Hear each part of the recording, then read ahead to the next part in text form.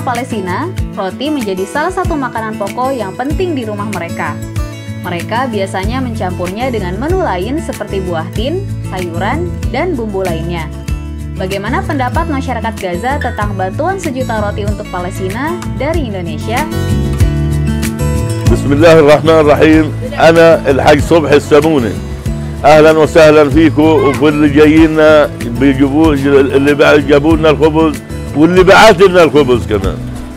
طبعا أهلا وسهلا فيكم. طبعا الخبز يا جماعة في الدار كسلعة يعني سلعة يعني حاجة من غير خبز ما بتزبطش معانا. والحمد لله بارك الله في اللي بعت لنا الخبز. والخبز بحيي الأطفال وبحيي النفس وبحيي ال- الكبار وبحيي الصغار.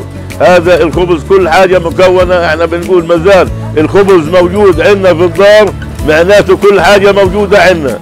والحمد لله مازال كمان إخوتنا واللي بعث لنا الخبز موفرين لنا الخبز. بارك الله فيكم كليتكم واهلا وسهلا فيكم. والخبز عنصر جزء لا يتجزأ في قلب البيت. والحمد لله اللي ربنا بعثكم وبعثوا علينا. شكرا كسيف فلسطين. ترمى كسي كسي فلسطين.